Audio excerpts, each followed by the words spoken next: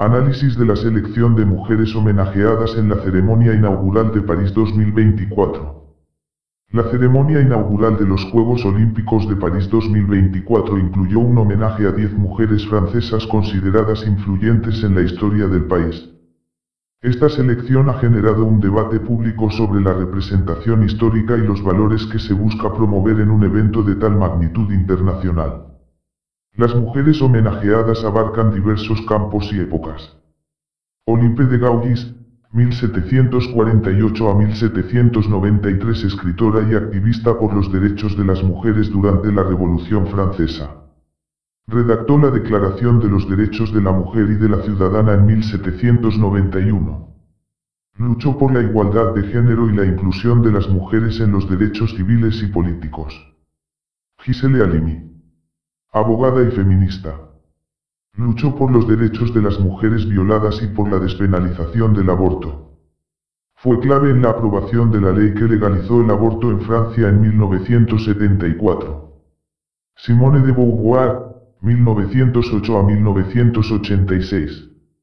Filósofa y escritora feminista. Autora de El Segundo Sexo, una obra clave en la lucha por la igualdad. Defendió la emancipación de la mujer y luchó por los mismos derechos que los hombres. Jim Barat, 1740 a 1807 primera mujer en circunnavegar el globo, exploradora y botánica, es conocida no solo por ser la primera mujer en circunnavegar el globo, sino también por haber desafiado las convenciones de género de su tiempo. Para poder unirse a la expedición de Louis Antoine de Bougainville en 1766, Barat se vistió como hombre y adoptó el nombre de Jean Baret.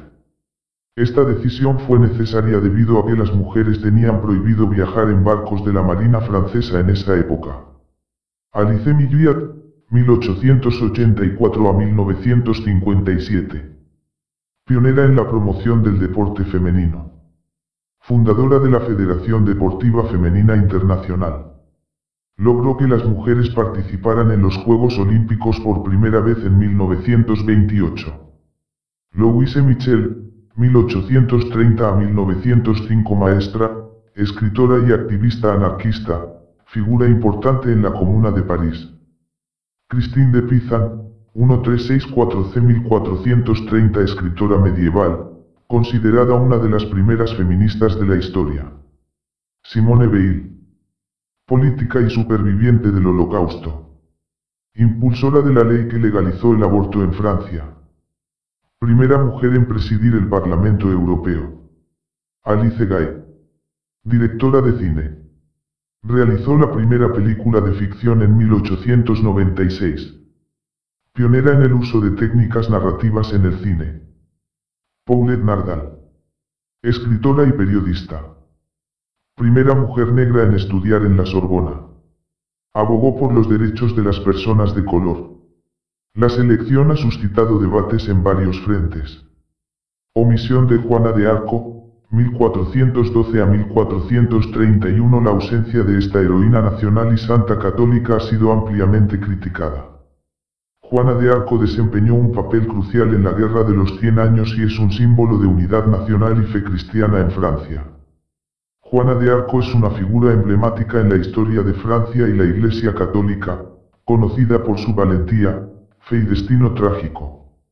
Representa profundamente los ideales cristianos, ya que se consideraba una herramienta de Dios y creía que sus acciones estaban dictadas por las voces divinas que escuchaba.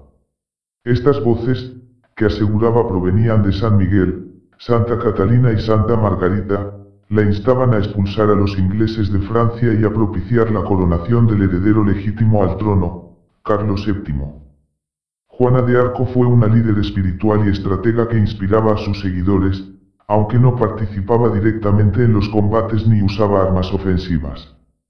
Su papel era más bien el de una guía que motivaba a los soldados franceses a luchar por su país. Su fe y obediencia a Dios eran fundamentales en su toma de decisiones y acciones, lo que la llevó a vestirse de hombre para poder unirse al ejército y luchar por la causa francesa. La razón principal por la que Juana de Arco fue condenada a la hoguera fue la acusación de herejía y brujería. Los ingleses y sus aliados la acusaron de haber pactado con el diablo, de practicar la magia y de vestir ropas masculinas. Sin embargo, todas estas acusaciones eran falsas y carecían de fundamento. Juana nunca renegó de su fe católica y siempre se sometió a la voluntad de Dios. Finalmente, Juana de Arco murió en la hoguera en 1431, a los 19 años, después de ser capturada por los ingleses y sometida a un juicio eclesiástico. Su muerte fue un martirio, ya que murió por sus creencias y su obediencia a Dios. Su legado como una figura de inspiración y un símbolo de la fe cristiana ha perdurado durante siglos, y sigue siendo una figura importante en la historia de Francia y la Iglesia Católica. Su exclusión puede reflejar un deseo de alinear el evento con una visión más secular y progresista, que contrasta con los ideales religiosos que Juana de Arco simboliza. Ausencia de otras figuras religiosas, no se incluyeron santas o figuras religiosas importantes como Teresa de Lisieux, 1873 a 1897, doctora de la Iglesia y patrona de las misiones. Sesgo ideológico. Predominio de figuras progresistas, la lista incluye principalmente personajes asociados con movimientos de izquierda, feministas o anticlericales, lo que sugiere una visión parcial de la historia francesa. Subrepresentación de posturas conservadoras, figuras como Madame de Maintenon, 1635 a 1719, influyente en la corte de Luis XIV y promotora de la educación femenina desde una perspectiva católica, están ausentes. Controversias específicas. Inclusión de figuras polémicas, la presencia de Simone Veil, asociada con la legalización del aborto, ha generado críticas en sectores pro-vida y religiosos. Olympe de Gauguis y Louise Michel, estas figuras son conocidas por sus posturas anticlericales, lo que ha sido interpretado como una elección deliberada para minimizar la influencia histórica del cristianismo en Francia. Énfasis en valores seculares. La selección parece reflejar una visión de la historia francesa que prioriza el secularismo y minimiza el papel histórico de la Iglesia Católica en la formación de la identidad nacional. Se omiten figuras que representan la tradición cristiana francesa, como Genevieve de París también conocida como Santa Genoveva, siglo V, patrona de la ciudad. Debate sobre la identidad nacional.